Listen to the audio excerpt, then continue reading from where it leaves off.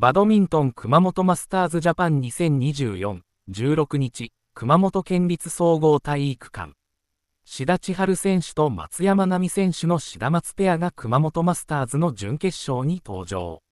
しかし、パリオリンピック2024の準決勝で対戦し敗れた中国の劉清書選手と丹寧選手のペアに再び敗れ、準決勝敗退となりました。画像、パリ五輪準決勝で中国ペアに敗れた志田松ペア。志田選手は試合を振り返り、自分たちの力を何パーセント出せたかと言われれば全然出せなかったとコメント。この相手に対して私はサービスが不安定になってしまうところがオリンピックからあるので、気持ちの部分でももっと強くならないといけないと敗因を分析しました。